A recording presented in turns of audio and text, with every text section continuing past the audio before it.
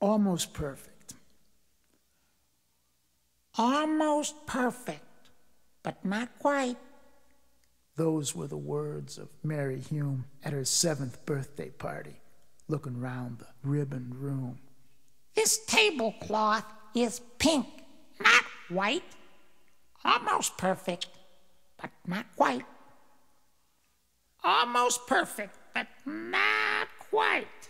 Those were the words of grown up Mary talking about her handsome beau, the one she wasn't going to marry. Squeezes me a bit too tight. Almost perfect, but not quite. Almost perfect, but not quite. Those were the words of old Miss Hume, teaching in the seventh grade, grading papers in the gloom, late at night up in her room.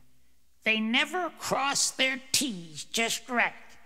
Almost perfect, but not quite. 98, the day she died, complaining about the spotless floor. People shook their heads and sighed. Well, guess that she'll like heaven more. Up, up went her soul on feathered wings, out the door, up out of sight another voice from heaven came. Almost perfect, but not quite.